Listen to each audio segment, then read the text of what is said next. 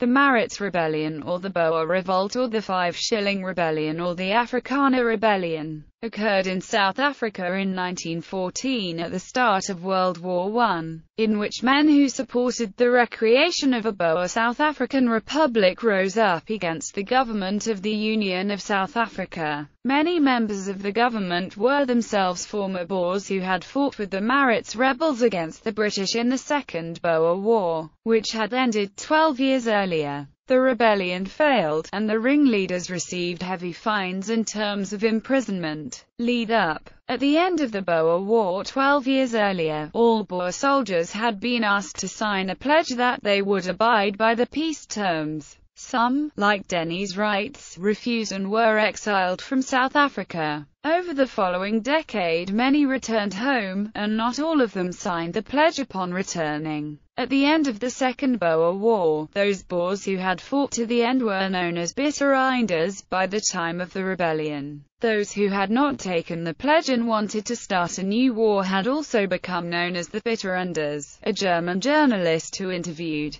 the former Boer general J.B.M. Hertzog for the Tägliche Rundschau wrote, Hertzog believes that the fruit of the three-year struggle by the Boers is that their freedom, in the form of a general South African republic, will fall into their laps as soon as England is involved in a war with a continental power. Paraphrasing the Irish nationalists, England's misfortune is the bitter enders opportunity, the bitter enders, and their supporters saw the start of World War I as that opportunity particularly since England's enemy, Germany, had been their old supporter. The First World War starts. The outbreak of hostilities in Europe in August 1914 had long been anticipated, and the government of the Union of South Africa was well aware of the significance of the common border South Africa shared with the German colony of Southwest Africa. Prime Minister Louis Botha informed London that South Africa could defend itself and that the imperial garrison could depart for France when the British government asked Botha whether his forces would invade German Southwest Africa. The reply was that they could and would.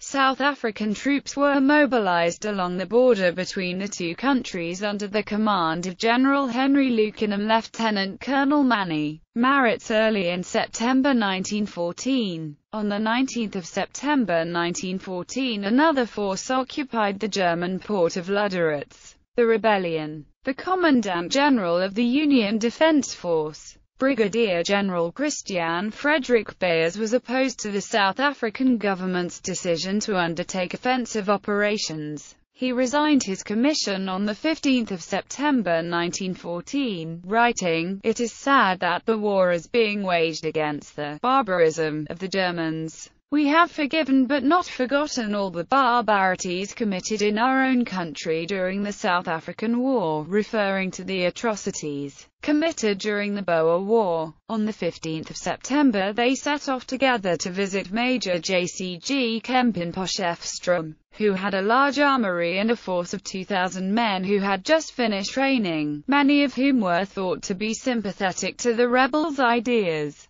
Although it is not known what the purpose of their visit was, the South African government believed it to be an attempt to instigate a rebellion, as stated in the government Blue Book on the rebellion. According to General Beyers it was to discuss plans for the simultaneous resignation of leading army officers as protest against the government's actions similar to what had happened in Britain two years earlier in the Curragh incident over the Irish Home Rule Bill. On the way to the meeting De la Rey's car was fired upon by a policeman at a roadblock set up to look for the Foster gang. De La Rey was hit and killed. At his funeral, however, many nationalist Afrikaners believed and perpetuated the rumor that it was a government assassination, which added fuel to the fire. Their anger was even further inflamed by Siener van Rensburg and his controversial prophecies. General Maritz, who was head of a commando of Union forces on the border of German Southwest Africa, allied himself with the Germans. He then issued a proclamation on behalf of a provisional government. It stated that, the former South African Republic and Orange Free State as well as the Cape Province and Natal are proclaimed free from British control and independent.